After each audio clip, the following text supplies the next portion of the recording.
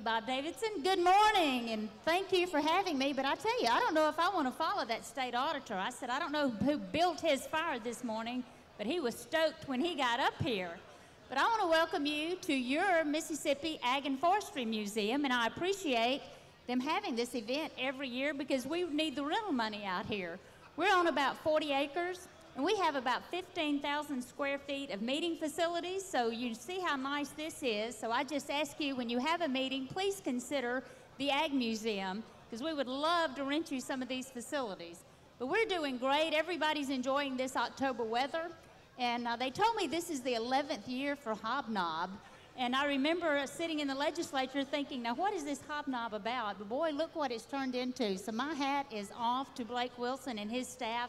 They have a staff of eight that put this on. But thank you for coming here and thank you for making it happen. I'm sure we're going to have a very exciting day. And things are really good in agriculture. I want to report to you that the row crops are have record yields this year, soybeans and corn. Don't know if we'll ever do it again. But people talk about the drought, and the drought was mainly in the Midwest, but Mississippi has had a very good ag year, unless you're feeding corn, and then some of us aren't smiling as big as others. But uh, just the other day, we had Chief Anderson down here at the Ag Museum. We unveiled her portrait to uh, put in the uh, Heritage Center and the Ethnic Center over there, which was a really good day. We've had a lot of things happening out here. We have a new nature trail here that I really encourage you to go visit. And as you may be aware of, or you may not be aware of, ag is the number one industry in this state. And so when we have that good meal today, I just want us to think about our farmers and what's there. Another thing that has happened at the Department of Agriculture is our Ag Theft Bureau. Just a couple of weeks ago, we had a huge bust in Claiborne County of stolen equipment.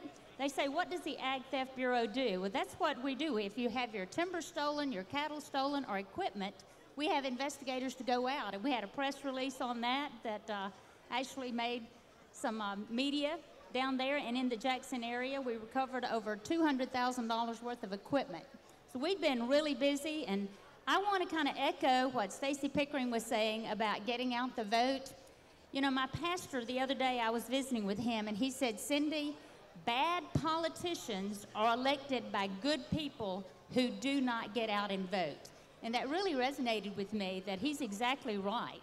So I just want to encourage you that, you know, next Tuesday's the day please exercise that right that people have died for us to do. And thank you for coming today. Thank you for being a part of the political process here at Hobnob.